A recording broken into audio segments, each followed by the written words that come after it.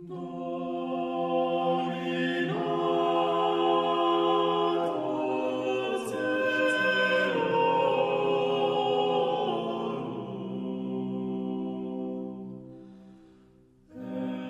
Marie, une femme, le salut est venu. Et donc, il n'y a pas de salut sans la femme. C'est là que Dieu s'est uni à nous. Et si nous voulons nous unir à lui, il faut passer par le même chemin, par Marie, femme et mère. Si nous voulons tisser d'humanité les trames de nos jours, nous devons repartir de la femme.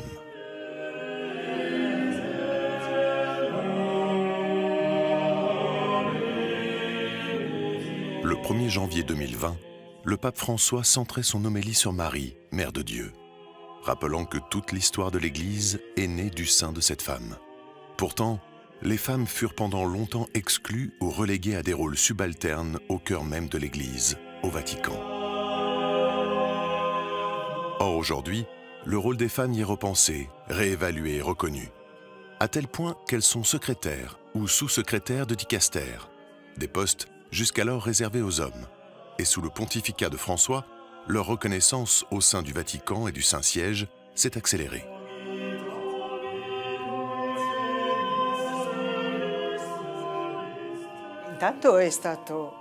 Comme je l'ai déjà dit plusieurs fois, ce fut pour moi une grande surprise, parce que justement, c'était la première fois qu'une femme, une laïque, occupait ce poste de sous-secrétaire.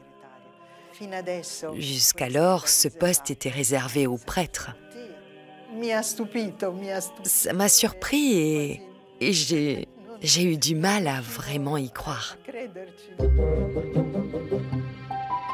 Francesca Di Giovanni fut la première femme nommée sous-secrétaire pour le secteur multilatéral de la secrétairerie d'État, l'organe central de la curie romaine. Jamais une femme n'avait été nommée à un poste de responsabilité aussi haut. Seuls les hommes, et principalement des prêtres, y avaient accès. Comment ces derniers ont-ils accueilli ces évolutions? Ils ne s'y attendaient pas et en même temps, ils m'ont dit qu'ils étaient très contents parce qu'en fait, je suis une des plus anciennes en service ici, au sein de la secrétairerie d'État. Et ils m'y ont toujours vu. Il n'y avait pas grand-chose de nouveau à part ce rôle. Lors de mon premier entretien avec le Saint-Père après ma nomination, je lui ai dit Saint-Père, je chercherai à faire de mon mieux. Il m'a regardé et m'a dit Je sais. Je dirais globalement, moi j'ai senti un, bon accueil et des bonnes relations. Après, euh, comme toute nouveauté, euh, on le sait, dans tout type d'organisation, euh, la nouveauté ou l'appel au changement n'est pas facile, euh, peut créer des peurs, des, résistances. Donc il y, a un enjeu d'un apprivoisement. Et puis, on est au Vatican, le pape le souligne souvent, voilà, dans la plus vieille institution du monde, qui a été formatée aussi par une manière de travailler qui est quand même très hiérarchique, pyramidale et donc d'entrer euh, dans une manière de travailler plus synodale, euh, c'est-à-dire justement euh, qui ne soit pas que clérical, mais qui associe euh, la diversité du, peuple de Dieu, et eh ben c'est un chemin qui ne se, fait pas en, deux jours. Euh, donc ça fait partie du, processus synodal de, rencontrer, euh, je dirais à la fois ceux qui sont très enthousiastes, et, et j'ai beaucoup d'expériences positives, mais aussi quand il s'agit de travailler autrement, ça ne se fait pas toujours de manière aussi facile. Sœur Nathalie Bécard, religieuse Xavier, a été nommée en 2021 par le pape François sous-secrétaire du secrétariat général du synode. Elle est la première femme à y occuper ce rôle. Autre promotion, celle de sœur Alessandra Smerilli, une salésienne de Don Bosco, première femme à avoir été nommée secrétaire d'un soit la numéro 2 dans l'organigramme, en l'occurrence celui pour le service du développement humain intégral, le plus ouvert peut-être à la société.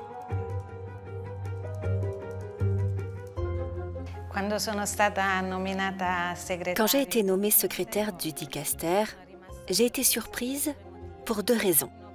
D'abord, parce que j'ai été nommée sous-secrétaire peu de mois avant. Et j'étais en plein apprentissage et j'ai dû changer. Ensuite, parce que j'ai été la première femme à occuper ce rôle dans la curie. Et je sentais évidemment tout le poids de cette responsabilité, parce que tous les regards étaient tournés vers moi. Avant même de penser au travail, j'ai eu quelques craintes. Mais ensuite, j'ai commencé à travailler. Et voilà. On ne m'a jamais maltraité au sein de la curie romaine. Il y a beaucoup de respect et il s'agit en plus d'une relation entre pairs parce que nous travaillons. C'est un espace de travail pour nous. Ça ne signifie pas qu'au sein de toute l'Église, les relations soient ainsi. C'est important de distinguer les relations entre les femmes et les hommes qui sont prêtres, cardinaux ou évêques au sein de la curie romaine, où nous avons des relations de travail et des responsabilités, des relations qui existent entre les femmes et les hommes, qui ont une charge au sein du clergé hors de la curie romaine, dans les églises particulières et dans la vie quotidienne.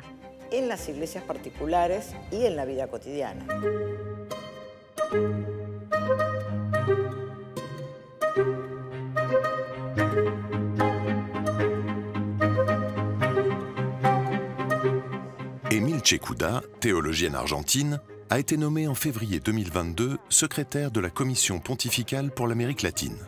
Le pape François l'a choisie pour être la première femme à occuper ce poste, au sein de cette institution qui met en relation le Vatican au plus grand continent catholique au monde.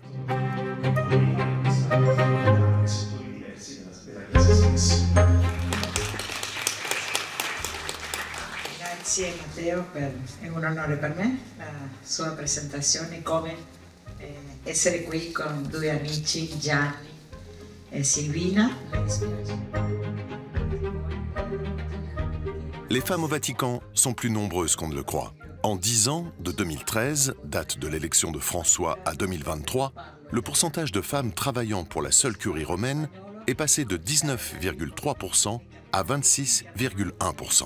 Cette présence des femmes n'est évidemment pas nouvelle. Dans certains secteurs ou institutions, elles sont présentes depuis longtemps.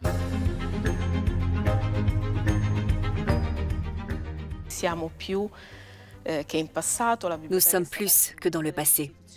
La bibliothèque a été l'une des premières institutions du Vatican à avoir, dans la première moitié du XXe siècle, assumé des femmes, avec des contrats de collaboration quand il n'y avait pas encore de femmes employées du Vatican.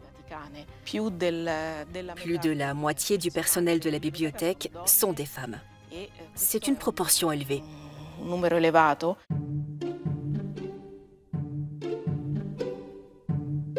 Raffaella Vincenti est la secrétaire de la Bibliothèque apostolique, une institution vieille de plusieurs siècles, abritant des ouvrages d'une valeur inestimable appartenant aux papes successifs, et qui est largement ouverte aux femmes.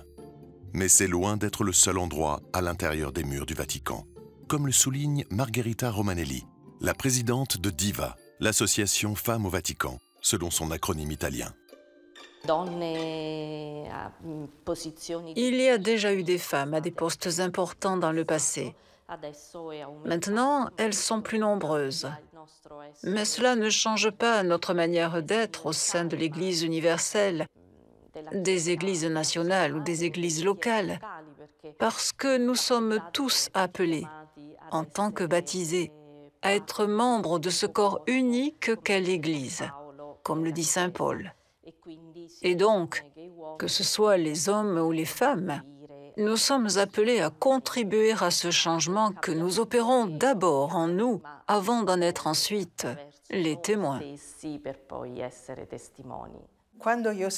Quand je suis arrivée, il y avait ici logiquement moins de femmes. Mais j'y ai toujours trouvé une grande disponibilité de la part de ceux principalement des prêtres qui travaillaient déjà au service du Saint-Père, du Saint-Siège. J'ai toujours perçu un grand respect, une grande disponibilité à la collaboration. Et dès que j'ai été sous-secrétaire, j'ai essayé de favoriser cela. Les réflexions sur la place des femmes au sein de l'Église se multiplient au sein du Vatican et dans les universités pontificales. Dans l'amphithéâtre de l'université urbanienne, une conférence sur les femmes dans l'Église, créatrice d'Humanite, rassemble des professeurs du monde entier. En la vida de esta gran santa resaltan su extraordinaria sabiduría e inteligencia, a pesar de no haber hecho ningún tipo de educación superior. Sabiduría que se transparenta en sus numerosos escritos, Gracias a las enseñanzas, Santa Teresa ha sido durante los siglos y sigue siendo hoy una maestra de vida espiritual. Penso che ad Armida Varelli il Dicastero Nuovo per la cultura e l'educazione piacerebbe molto perché è un aspetto che ha sottolineato tanto nella, nella sua vita, questo intreccio inscindibile tra l'educazione e la cultura fondato su un'antropologia cristiana. Nella storia della Chiesa tanti uomini e tante donne hanno vissuto una santità esemplare nel sacramento del matrimonio. Nel XX secolo, però, una rinnovata riflessione teologica sul matrimonio condusse la Chiesa a riflettere sulla possibilità che lo stato coniugale potesse essere esso stesso il fondamento per una santità a due. Ces occasions d'échange sont idéales pour Diva.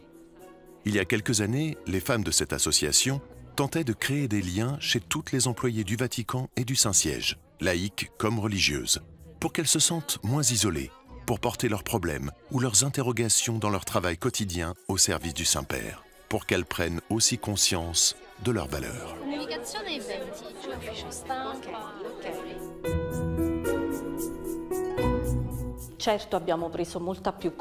Bien sûr, nous avons pris beaucoup plus conscience de notre être à l'intérieur de la curie romaine.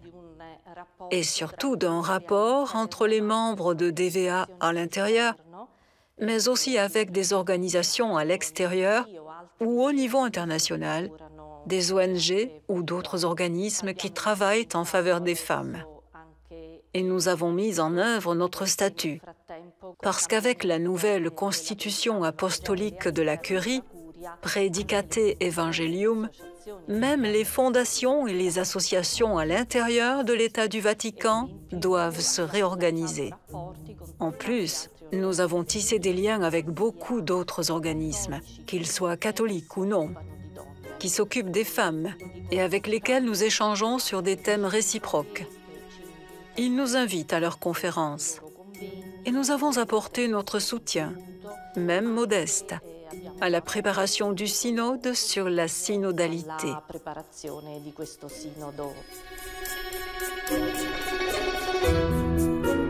Mais l'engagement de ces femmes va bien au-delà du synode sur la synodalité.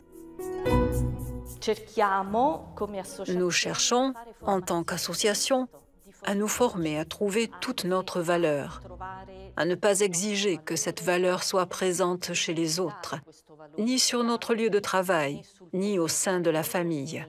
Nous voulons trouver notre propre espace pour être ensemble avec l'homme, nos maris, nos familles, ou au travail avec nos supérieurs, pour apporter une contribution positive.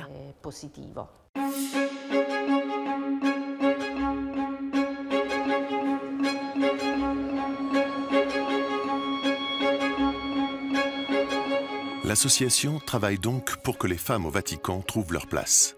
Elle contribue aussi à faire connaître leur travail et leurs réalisations. Comme ce livre, écrit par Roberta, l'une des membres de Diva, est présenté au public avec la participation du père Federico Lombardi, ancien directeur de la salle de presse du Saint-Siège et père spirituel de Diva, toujours présent dans les moments importants du groupe.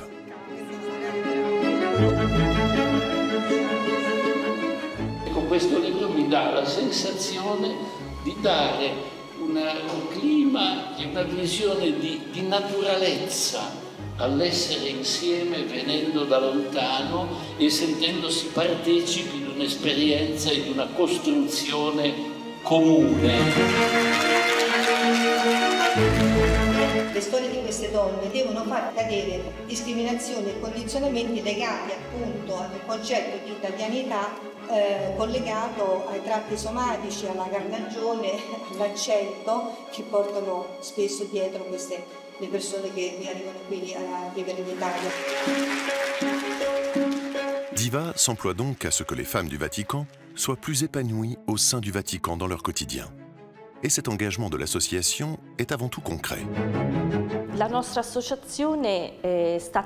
Notre association tente en ce moment particulier et historique de répondre aux besoins concrets en partant, par exemple, de l'aide aux mamans qui deviennent toujours plus nombreuses à travailler au sein de la curie, mais aussi au sein des conférences épiscopales dans les diocèses. Cela passe par des aides pour les enfants, en mettant à disposition des activités quand les enfants ne vont pas à l'école. Par exemple, il y a le centre aéré l'été au Vatican quand les enfants ont fini l'école. On essaie aussi de voir comment aider le gouvernorat de l'État de la Cité du Vatican à penser aux femmes qui partent à la retraite, parce qu'aujourd'hui, plus que jamais, le besoin de contact, de ne pas rester isolé quand on prend sa retraite, se fait sentir, même chez nos membres.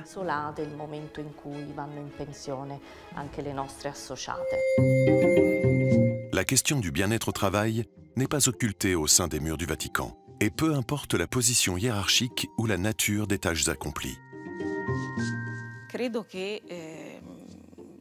Je crois que la position d'une personne qui travaille, et a fortiori une femme avec des besoins déterminés, s'améliore en en favorisant le bien-être dans tous les domaines.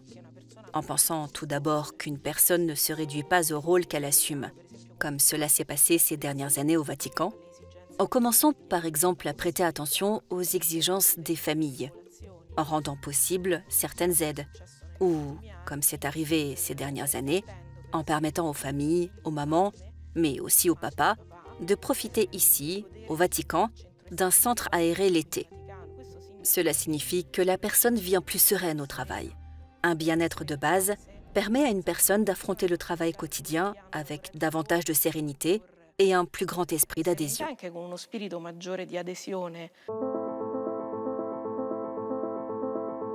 Faut-il voir dans le désir de reconnaissance des femmes au sein du Vatican la volonté de démontrer qu'il n'y a aucune différence entre elles et les hommes? Que les uns et les autres sont au final interchangeables? Pas sûr que cet effacement des différences soit vraiment leur objectif. Je pense qu'il ne faut pas essentialiser les différences. En revanche, il faut reconnaître, il y a une différence euh, qui est de l'ordre pour moi du, du mystère, qui a quelque chose d'insaisissable, et je crois profondément que comme femme ou comme homme, on n'a pas tout à fait le même regard sur les choses. Euh, voilà. Et donc, ce qui fait la richesse, moi je l'ai vu dans mes 30 années d'expérience pastorale en pastorale des jeunes, quand on croise les regards en mettant des personnes différentes ensemble, notamment hommes et femmes, c'est toujours plus riche. Et c'est sûr qu'une des choses que j'ai portées, c'est le fait d'impliquer les femmes à tous les niveaux du, synode, pas seulement euh, au secrétariat dans, l'équipe permanente, mais par exemple dans les commissions de préparation du synode. Euh, commission théologie, spiritualité, méthodologie, communication, il y a des femmes. Et moi je crois que quelque part la différence homme-femme, elle est un peu la matrice de toutes les, toutes les différences. L'enjeu serait plutôt de dépasser les différences. D'abord, ce n'est pas le fait d'être homme ou femme, religieux ou laïque qui fait la différence. Parce qu'avant tout, il faut être compétent pour assumer un rôle déterminé. Après, le fait d'avoir des vocations différentes et d'être des hommes et des femmes enrichit ce que l'on fait, le rend moins partial et plus ouvert à tout le monde. J'ai croisé une fois, ici à la secrétairie d'État, le Saint-Père, et il m'a dit Attention, woman's touch, la touche féminine, non? Ce qui fait la différence, c'est le partage. Et pour cela, peut-être que les femmes aident davantage, parce qu'elles favorisent sans doute l'implication. Mettre ensemble différentes vocations au service de tout le monde et du développement humain intégral.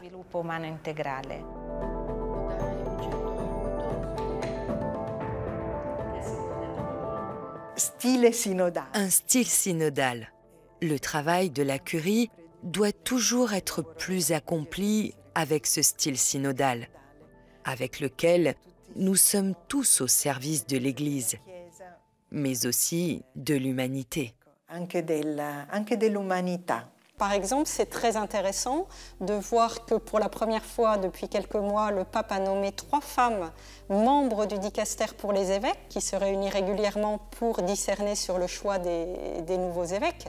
Et j'ai eu récemment l'occasion de discuter avec l'un ou l'autre cardinal qui fait partie, qui est aussi membre et qui m'a dit combien ça apporte vraiment un regard riche et, qu'elles ont bien, leur place. Le fait euh, qu'il y ait des femmes présentes aussi au dicaster pour les évêques et qui peuvent donner leur voix et leur sensibilité dans ce qui concerne le, discernement et le choix des évêques, ça me semble être euh, important et mm, personnellement, je, le vois normal, disons. Ancienne supérieure générale de la congrégation des sœurs salésiennes de Don Bosco, sœur Yvonne Rongoat est une des trois femmes désignées en 2022 par le pape François pour participer au processus de sélection des nouveaux évêques au sein du dicaster pour les évêques. C'est fort de son expérience en Afrique et à la tête de sa congrégation qu'elle accomplit sa nouvelle mission au sein d'un des dicastères les plus masculins par essence. Pour cette Salésienne, la notion de réciprocité est fondamentale.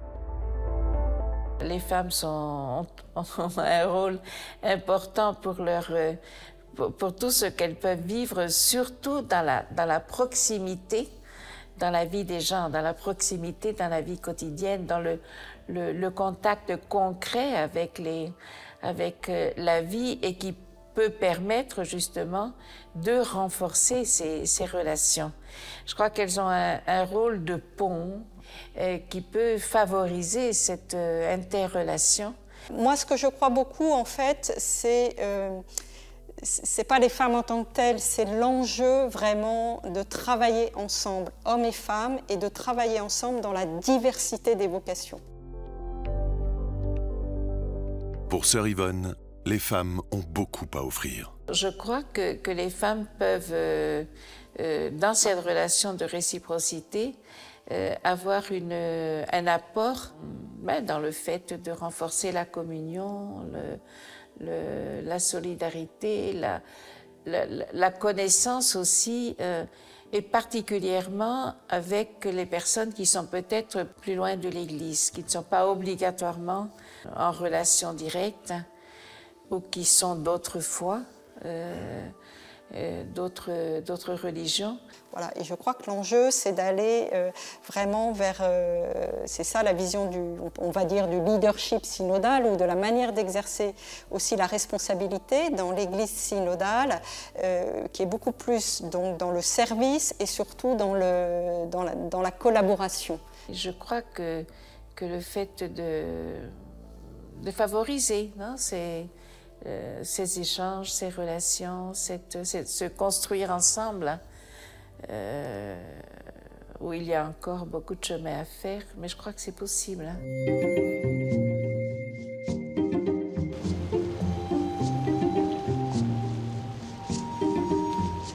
Ce chemin, les divas l'ont entrepris depuis plusieurs années. Elles se réunissent régulièrement dans leur bureau toujours provisoire pour discuter de leurs projets dans et en dehors du Vatican toujours à la recherche des initiatives les plus motivantes.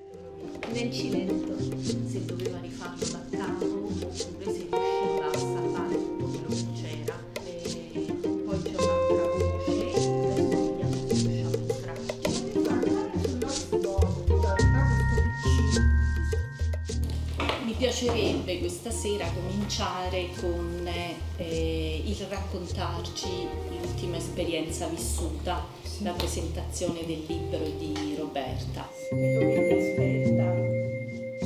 Et une bonne promotion de leur action passe aussi par la création d'un site internet.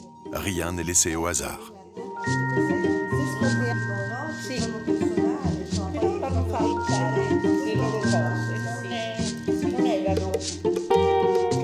Le critère de compétence apparaît comme le seul requis pour de nombreux postes. Les nominations de femmes par le pape à des postes réservés jusqu'alors à des hommes sont-elles cependant vraiment en mesure de changer le regard de ces derniers sur les femmes au Vatican?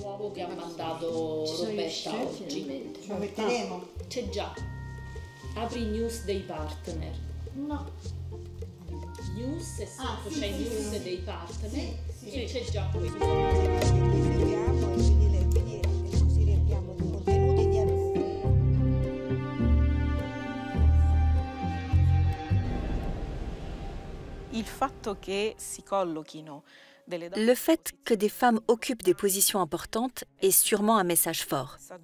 C'est la reconnaissance des compétences et faciliter l'accès à certaines étapes de la carrière, indépendamment du genre.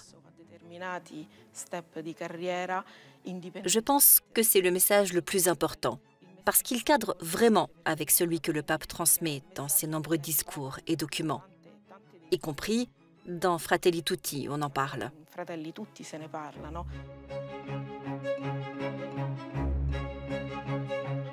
Si l'on prête encore beaucoup d'attention au genre des personnes qui occupent les postes de responsabilité, il existe une autre distinction fondamentale au sein de l'Église, celle entre laïcs et clercs.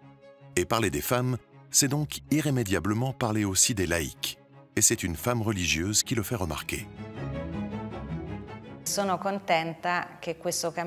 Eh, Je suis contente que ce chemin puisse être partagé aussi avec d'autres femmes et avec les laïcs parce qu'il y a toujours plus de laïcs qui sont nommés à des postes de responsabilité. Pourquoi pas aussi une femme euh, Parce qu'en fait, quand on parle des femmes, il faut parler euh, de. C'est aussi la question des laïcs et de la place des laïcs. Le fait qu'il y ait plus d'hommes et de femmes laïques en particulier est visible et important et fait l'actualité. Et quand une nomination fait l'actualité, cela veut dire que c'est encore un peu rare, que cela n'est pas encore évident et que ce n'est pas si ordinaire. J'espère qu'à l'avenir, le fait de nommer des laïcs à des postes de responsabilité fera toujours moins l'actualité, parce que je crois que ce qui nous unit est le baptême. Nous sommes tous chrétiens en vertu du baptême, et en vertu du baptême, nous sommes Église, peuple de Dieu e in virtù del battesimo siamo Chiesa, popolo di Dio. La coexistence au sein des dicastères entre laïcs et ecclésiastiques apparaît comme souhaitable. Disons que les laïcs euh, à partir de leur, de leur présence dans la famille, dans le milieu, dans, dans tous les milieux de travail, dans, euh, dans toutes les relations sociales, dans, les, dans la politique, dans la société, euh, dans les différentes œuvres même de, de l'Église, euh, ont une, un apport qui est, qui est très, très spécifique, qui élargit aussi les perspectives, parce qu'à partir de leur propre situation, ils par rapport à, des prêtres ou même par rapport à des religieux religieuses, euh, une ouverture sur euh, euh, les différents défis, les différentes situations que l'Église rencontre.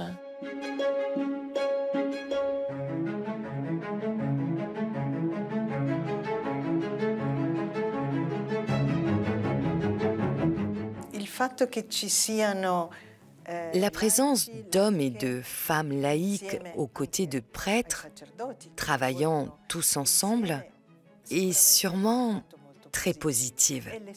C'est pour moi l'expression de l'Église. L'Église est ainsi faite d'hommes et de femmes laïques et de prêtres, et tous ensemble, nous pouvons travailler pour l'Église. Le Vatican n'est pas un îlot. Euh, le Vatican s'inscrit dans un environnement, comme je le disais, qui est celui de la société, euh, qui est en interaction avec les églises locales. Donc le fait, par exemple, qu'aujourd'hui, il y a au moins cinq ou six femmes secrétaires générales d'une conférence épiscopale euh, en Afrique du Sud, en Allemagne, au Sud-Soudan, dans les pays nordiques, donc, quand on reçoit la présidence euh, d'une conférence épiscopale avec le secrétaire général, ben maintenant, il y a aussi des femmes. Je pense que les laïcs sont, très, euh, multiplicateurs aussi de l'annonce de l'Évangile, à partir aussi de leur témoignage de vie.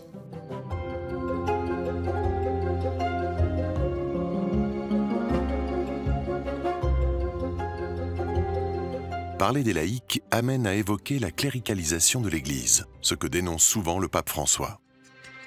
Un ruolo diverso mm, delle donne e dei laici un rôle différent des femmes et des laïcs dans l'Église peut avant tout contribuer à décléricaliser l'Église. Parce que jusqu'à maintenant, certains rôles ont été confiés seulement à des prêtres, à des évêques, etc. Et donc, confier à des laïcs des responsabilités plus grandes au sein des dicastères de la curie romaine, des diocèses ou des conférences épiscopales des associations et des mouvements peut faire comprendre que tous, laïcs, prêtres, religieux, nous sommes appelés à rendre ce service. Mio parere, può far capire eh, che laici, sacerdoti, religiosi siamo tutti chiamati a dare questo servizio. Opinione, à mon avis, le plus grand problème qu'ont les femmes, c'est le cléricalisme qui vient des laïcs et dont on parle peu.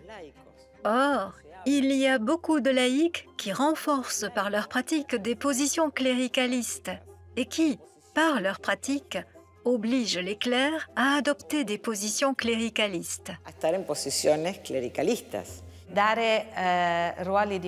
Donner des postes de plus grande responsabilité à des laïcs et à des femmes permet aussi d'avoir un regard différent et de mieux comprendre ce que signifie la nouvelle évangélisation pour que toute une expérience vécue soit portée, qu'elle soit dans le monde du travail ou au sein de la famille. C'est comme cela qu'on peut aider tout le monde à se sentir partie intégrante de l'Église. Si le pape a nommé des femmes, ce n'est pas pour respecter des quotas, mais bien parce qu'il leur a reconnu des qualités et des compétences qui les désignent pour les postes qu'elles occupent. La résistance à leur promotion viendrait en fait plus de certains laïcs. La plus grande résistance, on la rencontre non pas au sein de la curie romaine, mais en dehors, à cause de ces laïcs qui croient qu'il doit y avoir un homme à notre place et, dans le meilleur des cas, un clerc. Donc, je veux éclaircir ce point. C'est le problème du pouvoir concentré pendant de nombreuses années dans des lieux dominés par les hommes et le fait qu'il soit maintenu parce qu'il y a un grand nombre d'hommes qui ne sont pas nécessairement des ecclésiastiques. Il n'y a pas de retour en arrière possible. Et je crois que l'Esprit Saint, si nous l'écoutons, nous le demande. Et il faut donc avancer avec courage. Et je crois que laïcs et femmes peuvent être proactifs dans n'importe quel contexte.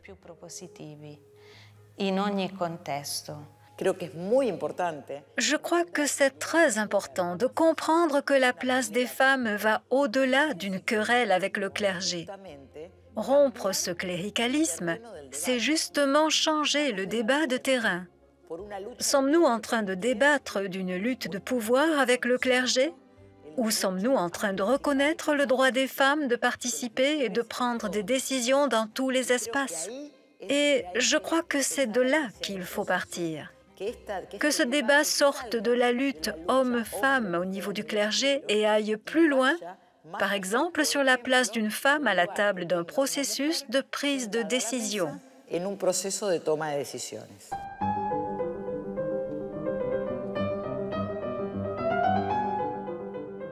L'ouverture aux femmes ne secoue pas que le Vatican et le Saint-Siège.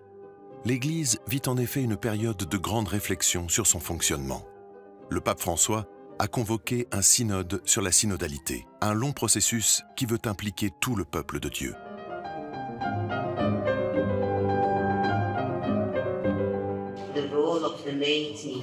The family, what is the role of the family? Ecumenism and interreligious dialogue was once again highlighted during today's discussions. Uh, we spoke about. Jamais les femmes n'ont été aussi nombreuses à y participer. Et jamais surtout auparavant, elle n'avait eu le droit de voter, une prérogative réservée jusque-là aux évêques.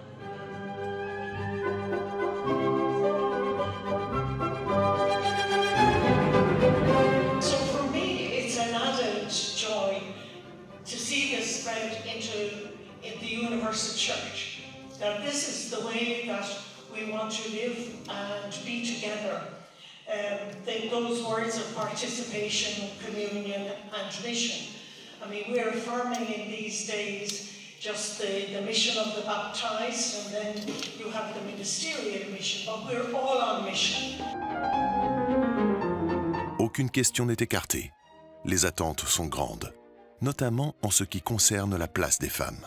Que la Santa Teresa de Lisieux, entrando nel Carmelo, cercava di salvare le anime, cioè lei eh, ricercava il bene degli altri. Tous les cas, ce que le cardinal grec a dit quand j'ai été nommé, euh, il a prononcé cette phrase en disant Une porte est ouverte. Euh, ce qu'il faut rappeler quand même, qui est important, c'est que dans les synodes des évêques, déjà depuis assez longtemps, bien sûr, il y a les évêques qui sont les pères synodaux et les membres, mais il y a aussi des experts et des auditeurs. Et ça fait déjà pas mal de synodes qu'il y a des femmes dans les auditeurs. Quand j'ai participé au synode sur les jeunes, la foi et le discernement vocationnel en 2018, nous étions sept euh, religieuses, mais il y avait aussi des femmes laïques, notamment des jeunes femmes. Au synode sur l'Amazonie, dans l'Assemblée, euh, il y avait 10% de femmes. Donc les choses se sont faites graduellement. Je pense que c'est aussi important de souligner qu'ici, dans le secrétariat du synode, qui est donc un staff permanent au service de l'organisation des synodes, quand je suis arrivée, j'étais la troisième femme. Si les femmes n'étaient pas là, est-ce qu'il y aurait encore l'Église? La question est de, reconnaître à leur juste valeur euh, les femmes dans, cette place qu'elles peuvent avoir dans l'Église de reconnaître leur, euh, leur possibilité d'assumer des, responsabilités, euh, de pouvoir aussi participer au moins dans, certains lieux de décision qui pourraient être accessibles en tenant présent bien sûr les différents rôles euh, et aussi de favoriser leur présence euh, particulièrement dans les lieux de formation. Le pape François demande toujours au début d'un synode, moi j'en ai vécu un il y a quelques années, d'écouter les opinions qui sont vraiment différentes des nôtres, pour comprendre pourquoi cette personne pense différemment. Euh, je crois que c'est aussi, euh, il faut souligner que l'Église, elle est toujours dans la société. Et on voit petit à petit à des rythmes différents selon les cultures et les sociétés, euh, qu'on a une nouvelle donne, on pourrait dire, euh, sur la question homme-femme. Et donc l'Église aussi bouge parce que la société et la culture bougent. Je crois que ce synode débouchera naturellement sur une plus grande inclusion des laïcs et des femmes. Parce que le synode étant sur l'Église synodale, si nous reconnaissons qu'une Église est synodale, qu'une Église est communion, je crois qu'émergera davantage le rôle des femmes et des laïcs dans l'Église en tant que service. Parce que je pense que les dynamiques de pouvoir doivent aussi changer. Et le pape François nous rappelle toujours cela. Qui a du pouvoir dans le sens de pouvoir faire quelque chose doit servir. Sinon, nous ne construisons pas l'Église synodale. Altrimenti non costruiamo questa Chiesa sinodale. Or, en matière de service, l'Église semble avoir failli, à en croire le document de synthèse de la première session du synode. Le texte parle d'une Église qui blesse. Le cléricalisme, le machisme et l'usage inapproprié de l'autorité continuent de marquer le visage de l'Église et de nuire à la communion, est-il écrit. Nous voulons que l'Église devienne un lieu capable de protéger tout le monde. L'Église, dans la promotion et la protection de la femme, doit montrer l'exemple.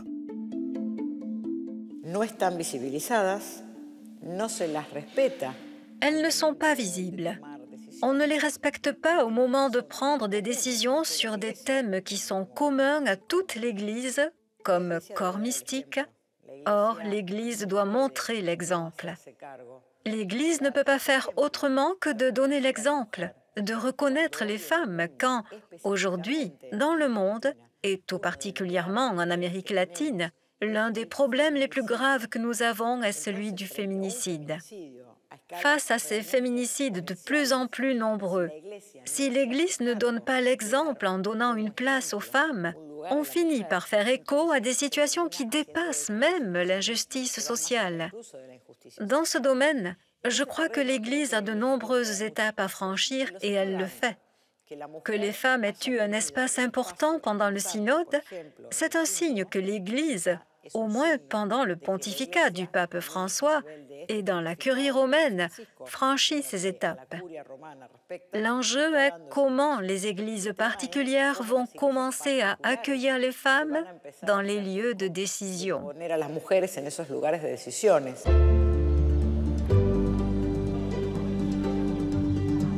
Depuis le Concile Vatican II, le rôle des femmes au sein du Vatican et du Saint-Siège a considérablement évolué. Les portes des plus hautes fonctions se sont ouvertes à elles.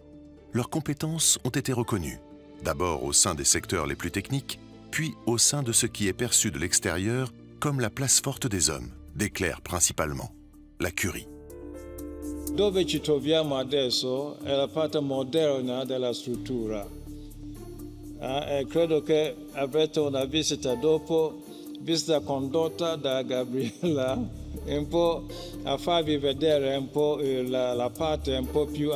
dell'Accademia. L'Académie pontificale, nichée dans les jardins du Vatican, ancien pavillon de loisirs du pape Pie IV, que visitent les femmes de Diva, n'a pas échappé à cette évolution. Elle s'est très vite ouverte aux femmes. Pas de distinction entre les sexes. Seuls comptent les mérites de ses membres.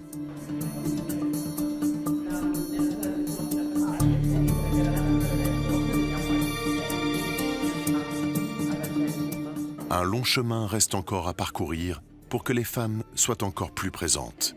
Mais attention, il y a peut-être au sein du Vatican d'autres problèmes que cette opposition homme-femme.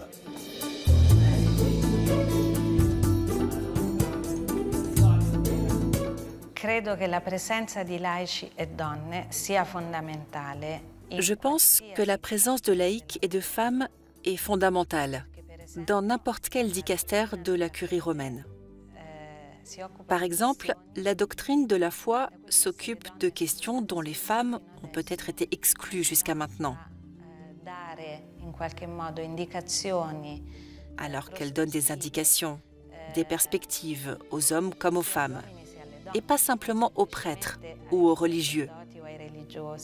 Autre exemple, une fois, un nonce est venu me voir et m'a dit que quand il cherche des informations pour comprendre si un prêtre peut devenir un bon évêque, il demande surtout aux sœurs.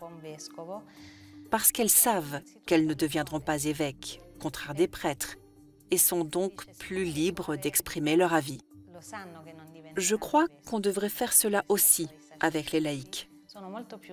Ce sont les laïcs qui comprennent peut-être mieux que les autres comment va la vie dans une paroisse et qui peuvent dire si ce prêtre peut être un bon candidat ou dire attention, il a ses limites.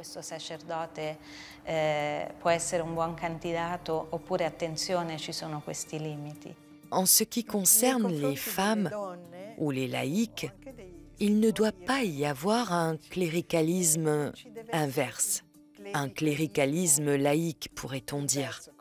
Comme dit le Saint-Père, on devrait ouvrir des voies, non occuper des espaces.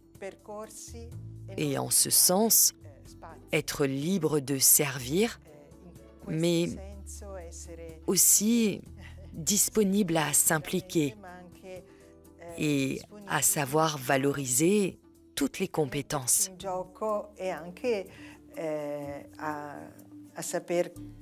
Valorizzare tutte le competenze. Parfois, ce que je me dis, et je pense l'expérience que je fais en venant de France, euh, même si la France et l'Italie sont très proches, euh, c'est pas forcément le fait d'être femme qui est le plus compliqué, c'est peut-être le fait de ne pas être italienne. et, d'avoir à rentrer aussi et à comprendre euh, un univers qui est quand même encore très formaté par la mentalité italienne, romaine. Euh, et donc c'est tout un apprentissage aussi parce que c'est vraiment pour moi des manières de travailler très très différentes de euh, la manière dont j'ai été formée, ce que j'ai expérimenté en France. Alors que le, Vatican, comme je voudrais le souligner, à la fois est au service de l'Église entière, et euh, s'internationalise de plus en plus, mais est à Rome et est encore aussi très façonné, euh, je pense, par l'Église italienne.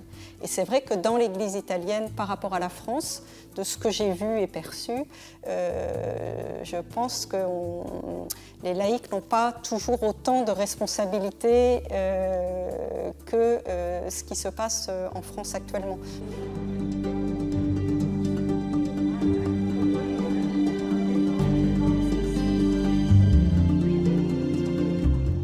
Sappiamo per caso uh, quando sono state assunte le prime donne come membri del Pontificia Accademia? 1986. 1986, ah. sono quattro donne sono entrate, le quali le Montalcini. Okay. 86. 86, mm. però nell'accademia precedente, quella delle, dei nuovi licei, prima del, della mm. ristrutturazione del 36, c'erano già qualche, la Mazzantini, c'erano già altre donne ah. che erano nell'Accademia dei Nuovi Licei, quella dal 47, 1847 al 1936. Mm-hmm, interessantissimo.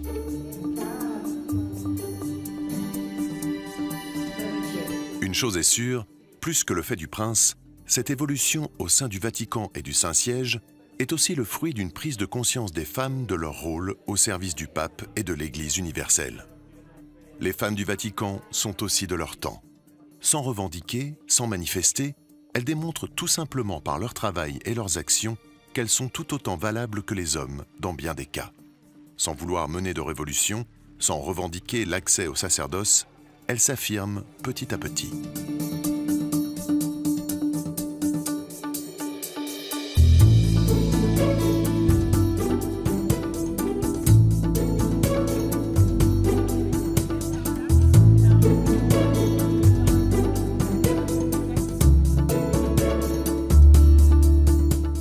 Reste cependant encore beaucoup à faire pour que l'Église se démasculinise, comme l'a répété à plusieurs reprises le pape François. Le Saint-Père l'a dit devant des théologiens. Si nous ne savons pas comprendre ce qu'est une femme, ce qu'est la théologie d'une femme, nous ne comprendrons jamais ce qu'est l'Église. Et d'ajouter, un des plus grands péchés que nous avons commis est d'avoir masculinisé l'Église. On ne saurait être plus clair.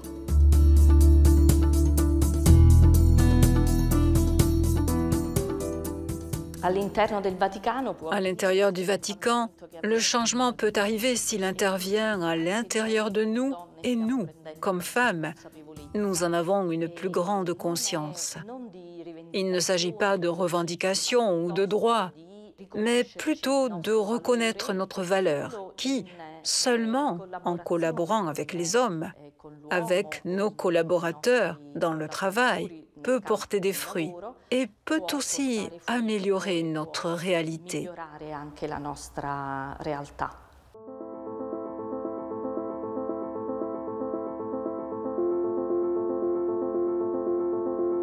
Cette insistance sur la prise de conscience par les femmes de leur rôle et de leurs valeurs est partagée aussi bien par les laïcs que par les religieuses. Mais ne considérer la promotion des femmes qu'à l'aune de l'occupation de postes de pouvoir est réducteur.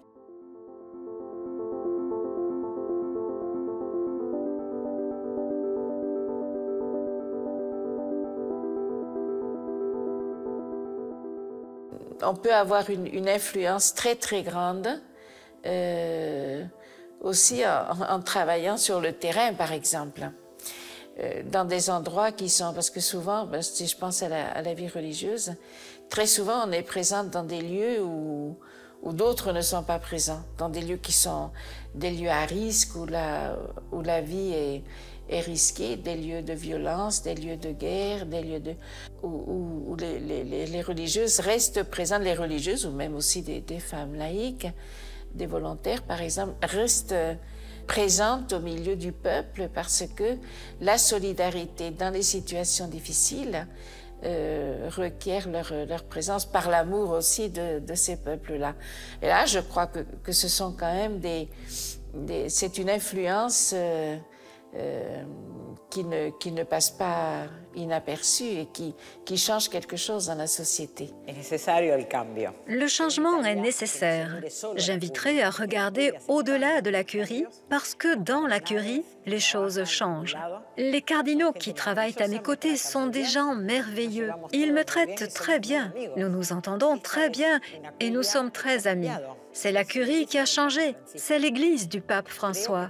Je crois que nous avons la responsabilité de donner l'exemple. Et notre responsabilité est de convaincre les églises particulières et, dans mon cas, en Amérique latine, d'avoir dans chaque curie locale, dans chaque diocèse et archidiocèse, des femmes qui apportent leurs compétences parce que ces femmes sont aussi l'Église.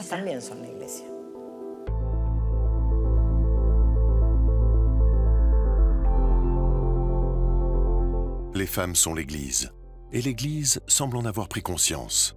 Que ce soit à la base ou à sa tête, le processus de conversion est en marche, et le pape François a donné un coup d'accélérateur pendant son pontificat.